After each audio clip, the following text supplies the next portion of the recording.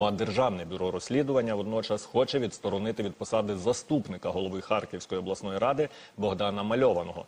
Причина в нього знайшли паспорт громадянина Росії, отриманий ще в 2014 році в Севастополі, а також посвідчення водія і податковий номер для сплати податків у Росії.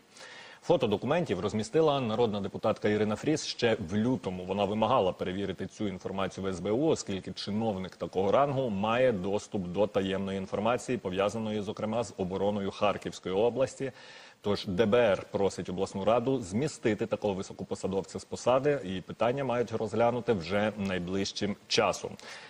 Власне, про колаборантів, не тільки харківських, зараз будемо говорити е, з Тетяною Сап'ян, це радниця з комунікації Державного бюро розслідувань. Е, ну саме саме в прив'язці до цієї теми, до, до за. До виявлення в цього чиновника, так е, російського паспорта. Та пане Тетяно, пані Тетяно, вітаю вас. Вітаю Сергію, вітаю усіх ваших глядачів. Е, Пані Тетяно, перше питання, от зважаючи на ту інформацію, яку я щойно озвучив, от Ірина Фріс ще в лютому подавала ці дані, так про, е, про те, що цей товариш мальований має російський паспорт. Тільки зараз дійшла дійшли, скажімо так, до нього руки. Тобто, відповідно, він з лютого мав доступ до державної таємниці. І відповідно, ну можемо припустити, що міг якимось чином, скажімо так. Е ну не те, щоб працювати, так але ну сприяти витоку цієї таємної інформації. Е, чому от стільки часу пройшло і чому лише зараз? Сергію, е, давайте будемо розбиратися з вами по порядку. Дійсно, ви Давайте. повідомили цю інформацію про те, що ДБР ініціювало вже відсторонення, тому що виявили факти наявності і паспорта, і відповідно е, податкової картки, і навіть прав е, як громадянина Російської Федерації. Справа в тому, що з 2014 року, наскільки мені відомо, дуже ускладнився процес обміну, так би мовити, інформацією між Україною і державою агресором РФ, зокрема. І він фактично був призупинений з 2014 року. Перевірити інформацію і причетність в базі даних того, що дійсно е, він е, дана особа була громадянином Російської Федерації. На це потрібно було трішки часу. Давайте зважати ще на те, що 24 лютого у нас почалося повномасштабне вторгнення, яке триває до сьогоднішнього дня. Це але вдалося правоохоронним органам, і, зокрема, державному бюро розслідувань, знайти цю інформацію, використовуючи свої важелі, свої методи і свої вміння. І зараз ми виступаємо. Державне бюро розслідувань виступає з ініціативою відсторонення його від посаду. Про причетність його до е, можливої такої диверсійно-розвідувальної роботи зараз мова йде більше про відсторонення його від посади. Буде перевірятися далі е, уже його прич- можлива причетність до диверсійно-розвідувальної роботи. І якщо з'являться докази, які будуть підкріплені фактами, тоді ми з вами вже будемо говорити про кримінальне провадження. провадження.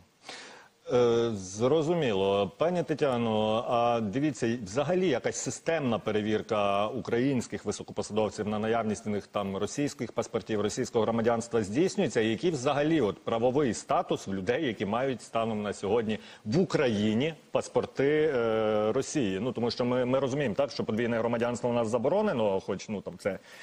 Ні, нікого якось не зупиняє, ніхто нікого за це не карає. Але одна справа там не знаю, громадянство Британії чи Сполучених Штатів, чи не знаю Ізраїлю, інша Росії. Так е, як, як ведеться робота в цьому напрямку?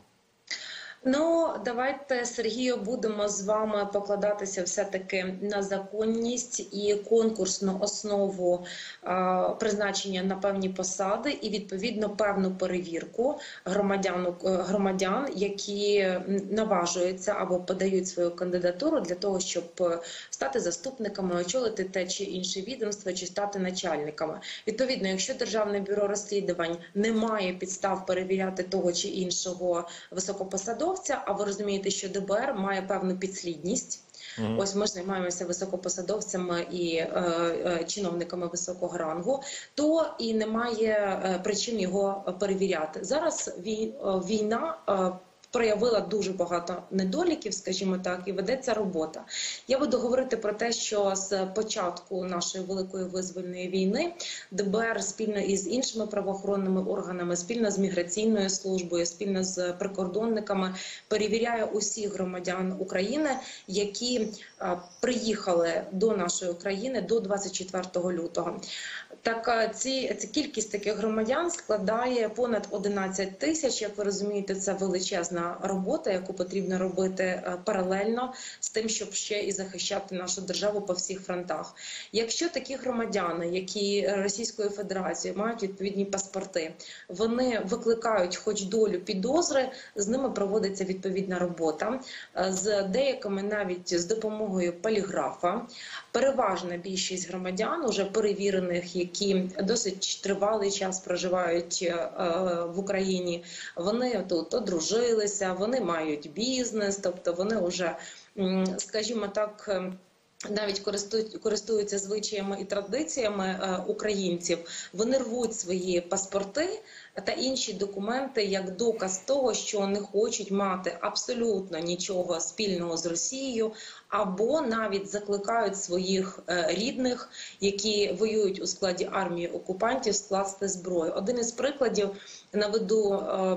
Ми повідомляли про те, що ем, громадянин Російської Федерації, який зараз проживає у зв'язку з сімейними обставинами у Харкові, виявилося, що його син зараз воює в е, армії країни-агресора, і він е, звернувся. е, Є навіть відео на youtube каналі ДБР, щоб він склав зброю і припинив цю ем, безумну війну.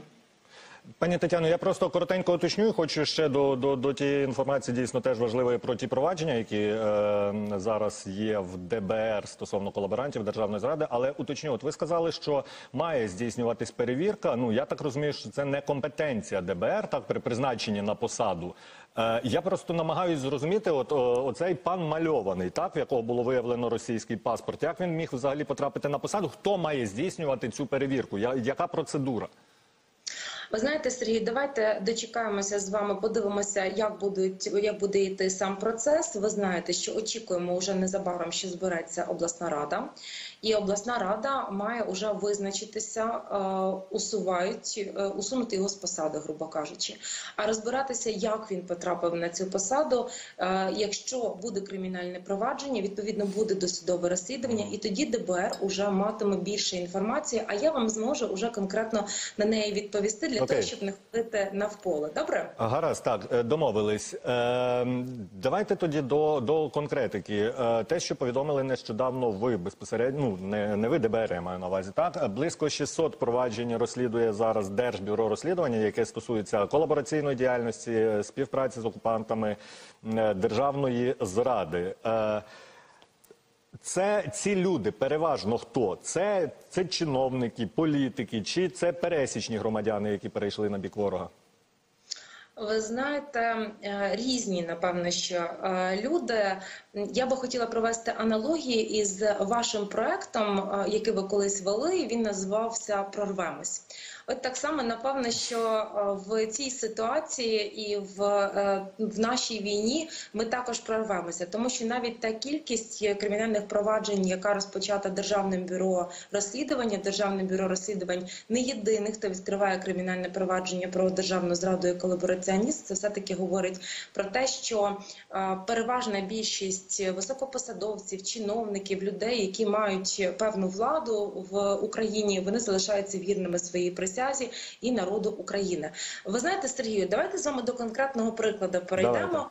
Сьогодні топ новина. Ви, до речі, я частково бачила ефір. Е, Ви і ваші журналісти акцентували увагу на е, народному депутаті е, Олексію Ковальову. Так. от сьогодні уже офіційно Генеральний прокурор України на підставі зібраних державним бюро розслідувань доказів повідомила про підозру у державній зраді та пособництві державі агресору народному депутату Тобто- Олексію Ковальову. Кваліфікацію змінили. Я правильно розумію? Тому що спочатку йому інкримінували саме колабораційну діяльність. Так. Я- на- Ну, ви розумієте, це процес відкриття кримінального провадження. А згодом, коли збирається достатня доказова база, а цей народний депутат, е, як ви бачили і самі показували, багато наговорив і вже встиг перевзутися в повітрі.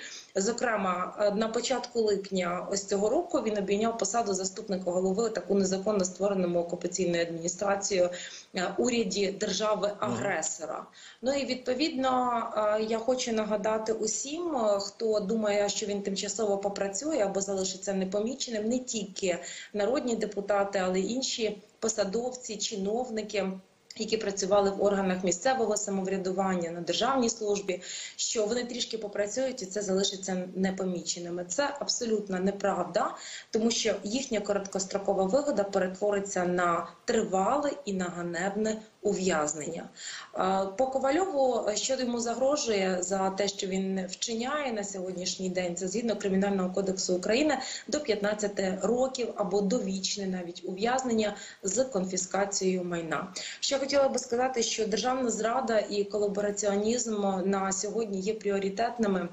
Кримінальними провадженнями для державного бюро розслідування, і як тільки буде завершено досудове розслідування, усі обвинувальні акти будуть передані безпосередньо до е, суду. Щодо кількості, ще хотіла би е, сказати Сергію, е, як говорив автор роману Хрещений батько, зраду не можна прощати, тому що зрадники завжди будуть небезпечні і зрадять ще.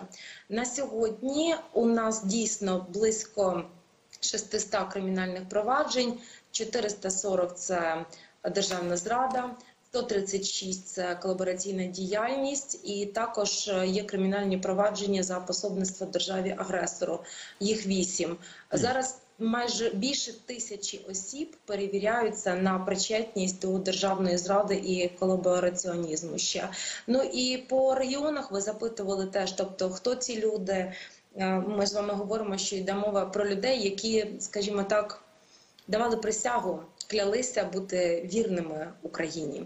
Тому е, так складаються обставини, що найбільше зараз таких кримінальних проваджень фіксується у Луганській, у Донецькій, у Запорізькій і у Херсонській е, областях. Пані Тетяно, а давайте трішечки роз, е, ну, ро- роз'яснимо нашим глядачам. е, От колабораційна діяльність, державна зрада і посібництво державі агресорці. Так е, є такі пункти. Е, чим, чи, чим відрізняється? Як кваліфікується оце все? Тобто, ну умовно кажучи, е, там, якщо людина якась змушена, яка там працювала раніше, не знаю, на, на, на українській території, яка нині окупована, і працювала, не знаю, в аптеці, в магазині, там так будь-де.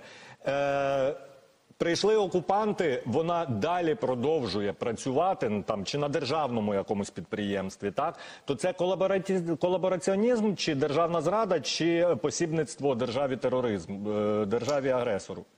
Де Сергія, ви підняли е, надто складне запитання. Ми навряд чи зараз можемо е, отак, от по поличках розложити, що Гаразд. ось цей державний зрадник. Зачекайте, я просто єдине, от тут от ця тонка, дійсно тонка межа. І е, коли уже слідчі, наприклад, якщо буде кримінальне провадження, слідчі будуть збирати доказову базу.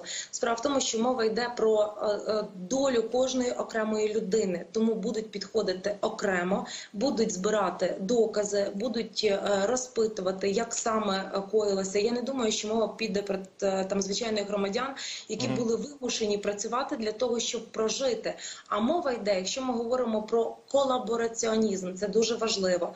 Це колаборант, це людина, яка умисно і добровільно, не примусово, тобто не вимушено, а добровільно іде і обіймає ту чи іншу посаду. У нас багато таких випадків, коли людина, наприклад, в адміністраціях чи там в, в центрах певних соціальних обіймали там посаду бухгалтера, їм тут запропонували під час окупаційної влади, наприклад, очолити якесь так самопроголошене відомство, і вони погоджуються. Тобто, це їхня добровільна, скажімо так, е, добровільне їхнє рішення, і вони йдуть і обіймають цю посаду. Коли ми говоримо про державну зраду, то це конкретно люди, які не приховують і, можливо, навіть здають позиції збройних сил України, наводять е, ракети, здають інформацію е, про інші дії влади, навіть маючи до них. Скажімо так, доступ. Ну і посібництво держави агресору це те, вони всі дуже тонка межа, вони всі десь схожі між собою. Але я ще раз наголошую, що кожне кримінальне провадження буде розглядатися в залежності від ситуації, в якої в якій була е, людина, е, від того, що вона зробила, який буде фактаж. Наприклад, якщо людина погодилася. Е, Добровільно, умисно обійняти ту чи іншу посаду, від цього нікуди не приховаєшся. Вона навряд чи зможе сказати: Ой, ви знаєте, я була вимушена це зробити. Та ні, тому що є люди, які бачили, погоджувалась вона чи не погоджувалась, агітувала вона, наприклад, за а, владу окупаційну, чи не агітувала долучатися і підтримувати так окупаційні війська в тому випадку. І є її рішення. Тобто, це будуть настільки серйозні докази, що ні в кого уже не буде сумнівів, що саме ця людина добровільно і умисно йшла на співпрацю з рашистами.